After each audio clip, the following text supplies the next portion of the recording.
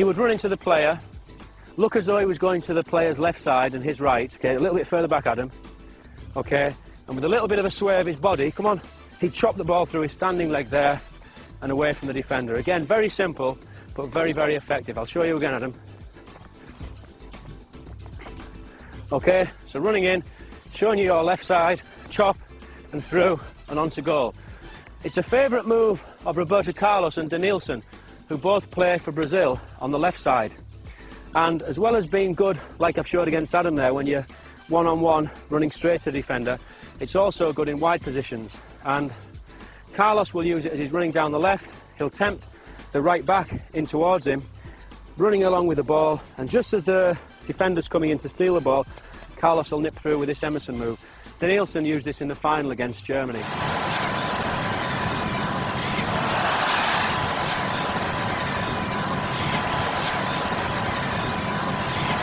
I'll demonstrate that with you, Adam. If Adam and I were running together for the ball, racing for the ball, I'm running and I almost let Adam catch me up and make him think that he can nip in and take it. And at that moment he does, when he just gets in there in front of me, I'll just put it through there with that and I'm away from him the other side. So I'll show you again slowly. So Adam and I have both been racing for the ball.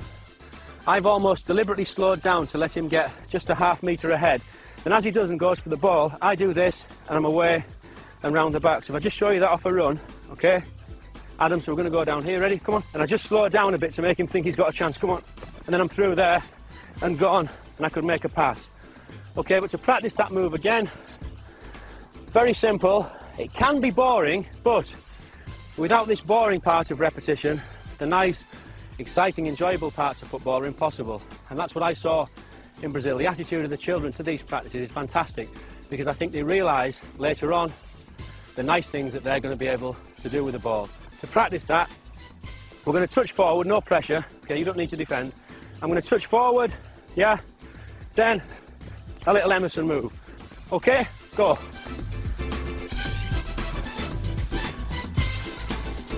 It's important not to lift the standing leg too high. It's quite dramatic. So what I'd like now, if you can pick up the pace a little bit, aim to a corner, and then bang, you put one in. Come on, nice and quick, crisp. So we're almost at a sprint. Mark, bang towards this corner, come on. And stop. Good examples here from Kumar. Hit the corner here. Hit the corner. Fast.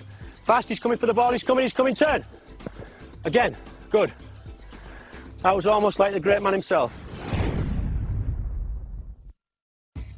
This next movement is very important. You may think that it's not even football and it's more like dance, but Brazilians do dance with the ball, and perhaps this exercise is why. We see players like Denilson doing those marvellous step over movements. Stepping over the ball. When we do this, we're hoping to deceive the defender into going the way of the step, and then we'd push the ball in either direction. But there's really no hard and fast rules as to how many steps that we do do. What we must do at the end, after the last step, is take the ball away in the opposite direction. But before that, at the very beginning, we've got to get used to this movement. So, step around the ball, right, then around the ball, left. And it's important when we do that we drop our shoulder and go down with the knee on the side that we step with, because that's the thing that will deceive a defender. So we go one, and we go two, and we go one, and we go two. We can do this to music, one, two, and we're kind of making a figure of eight if you look at the feet, with the feet, we start to quicken it up and instead of being back there on the bottom of our feet there we end up on the toes and we get into something of a rhythm. So we're almost dancing around the ball and making a nice smooth figure of eight trying to be quite low as well dropping the shoulder either side. An example Adam. Head up. Good lad. Get a little bit lower with your knees Brilliant. Head up, balance with your hands. And as we do this, we'll find that we're getting smoother and smoother and smoother. And only by practicing this movement without touching the ball are we able to do efficient and effective step overs that beat defenders in the game. This next one's a lovely move. It was made famous by Leonardo, the Brazilian player from the 1994 World Cup. Again, it's very simple. It's one again that we just need to work on our own before we can take it into a dribble. It can even later be used into a pass and I'll show you that later on. We look as though we're going to come out and kick the ball there with our right foot, but as we do, the heel of our right foot hits the ball back against the standing left foot and the inside of that foot. So it's out, heel and forward and stop. Out, heel and forward and stop. And just to show you that against the defender, if you can come there, Kieran. I'm running up to Kieran in a game, showing Kieran a bit of the ball. I go to kick there. He looks at the ball, heel, and then I'm away around him. I'll go again. So I'll show you, Kieran. So I go to kick. Come on. Heel, round, and pass. One more. So I go to kick, heel, and pass and round him. Then I could be into goal. But we need to practice it first on our own, get used to that movement. Then later on we can against the defender. As I say, it can also be used as a pass. I'll show you a little example here, Key. You're coming into me, I've got Mark there. I deceive you and use that as a pass over to Mark. So we can just practice a few of those. Let's go. Nice, and again. Good, okay, well done. Our next move comes from Juninho, my friend who did so well at Middlesbrough and in the 2002 World Cup for Brazil. He uses this move when he's had to stop the ball. The defenders come into him and he's stuck in a little space. He pushes the ball out with his foot as though he's making a pass, then brings it back and pushes off in the other direction. So it's push out, stop, and off in the other direction. Push out, stop, and then you'd move off. So to begin, we're just going to do the little push. We're going to start inside of the foot, push out as far as the foot will go, then bring back. And with practice, we can develop more speed, and that's what will sell it to the defender as a pass. He thinks the ball's going off in one direction, out, but we'll then turn and push off in another. So just practice that as we're moving around the space.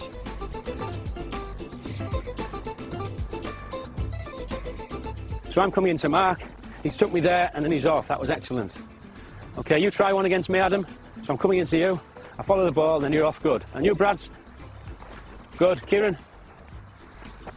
Good and away. Juninho will progress that still further and take it all the way around his body. And just let's stop, okay? So the defender will come in and he's going to spin 360 degrees all the way around, okay?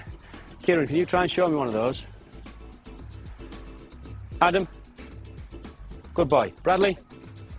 Good, Bradley. Mark?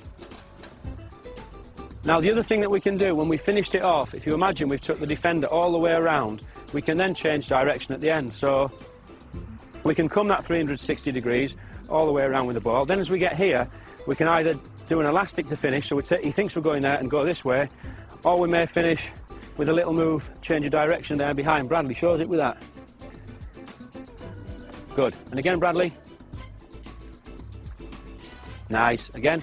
So we can put one of the extra moves that we've done earlier on the end as an extra little bit of deception. Kleberson emerged as one of the stars of the 2002 World Cup. I thought he was Brazil's best player in the final. He plays in centre midfield where the space is very tight, you don't get a lot of time on the ball, and this little slant over move that he uses is very important for a midfield player. He takes the sole of his foot over the ball and rolls over the ball and then slams back with the outside of the same foot. So it's slam over and back. And if you'll notice, I'm not just doing it with the foot, because just to use the foot, I'm not going to deceive the defender in the way that I want. So in practice, we want to build up, but we're taking the foot right the way over and push back. Little jog behind the ball, over and back, over and back, over and back. Okay, go. Nice, Mark, excellent. So for the kids watching at home, just to remember, it's very important with this one not to get the ball caught there just in between our feet and to use the whole body. So it's the whole body falling across the ball, then we push back with the whole body. So fall over and push back. I'm using my arms, my whole body, okay? Over and back and stop. Garrincha is one of the all-time greats of Brazilian football. Starred in the 1958 World Cup. Many Brazilians say that he was even better than Pelé, who the world regards as the best player of all time. He was a fantastic player, an attacking player, left-sided um, player, and his favourite move is a very, very simple move again. A very, very simple move, but as with most of the others, very, very effective. He shifts the ball from his left side to his right side and then away from the defender. If you come in, Waleed, he cannons the ball. He looks as though he's going to make a pass with the left foot, and he was left-footed, so the defender's thinking he's going to go that side. Just a step more back, Waleed.